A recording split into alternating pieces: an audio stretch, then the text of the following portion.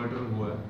इसमें हमने इसको एक शक के आधार पर एक व्यक्ति को राउंड अप किया था जिसको बात पूछताछ हमें क्लियर हुआ कि Prince son of Surjeet Poonia और ये वासी गगसीना का है और इसकी उम्र 24 साल है। जिसने कि परसों रात को अपने एक दोस्त के साथ पास के खेत में बैठ के शराब पी। और शराब पीने के बाद ये उस स्थान पर गया जहाँ पे कल वो वारदात हुई है। और वहाँ पे जाने के बाद फिर इसने जो दूसरा लड़का था इसके साथ, वो तो इसको छोड़ के वहाँ से चला गया। ये वहीं पर रुक गया। तो ये भी शराब के नशे में था और जो मरने वाला व्यक्ति है, वो वहीं पे था। तो इसने उसकी वाइफ के साथ, ओमवती के साथ छेड़खानी शुरू कर दी।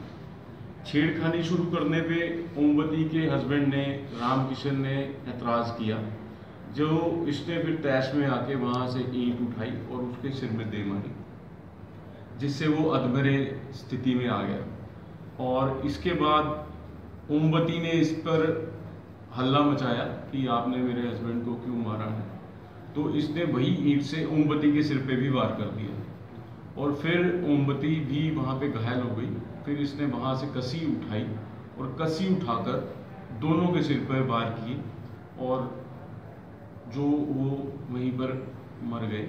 और उसके बाद इसने ओमवती को घसीट कर, जो पास में पचास एक मीटर की शायद वो दूरी थी तो वहाँ वो लेके आया और उसके साथ फिर रेप करने की कोशिश की। अभी हमने केमिकल एग्जामिनर के लिए उनका वो भिजवाए हैं स्वैब उसकी पुष्टि उनकी रिपोर्ट आने के बाद हो जाएगी।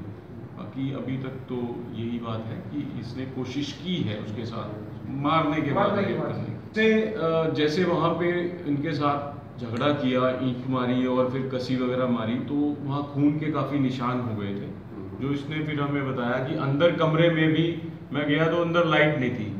तो मेरे को ये डाउट था कि कहीं पे मेरे खून से सने हुए हाथ जो लग गए, या कहीं पे खून के धब्बे रह गए, या जो वो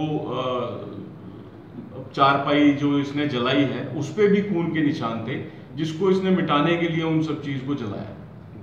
302 और उसके बाद 448 201 में सेक्शंस में ये दर्ज है।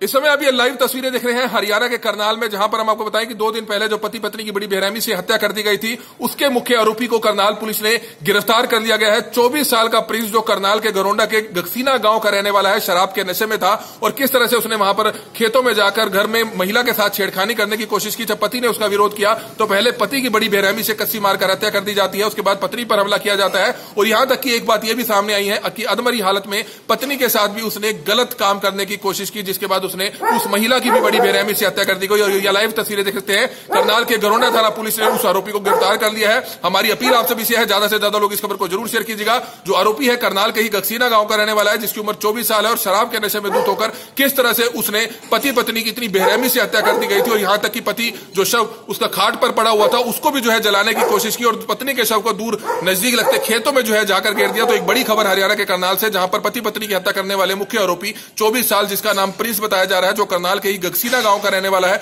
उसको पुलिस ने गिरफ़्तार कर लिया है। और हमारी अपील आप सभी से है, ज़्यादा से ज़्यादा लोग इस खबर को ज़रूर शेयर कीजिएगा।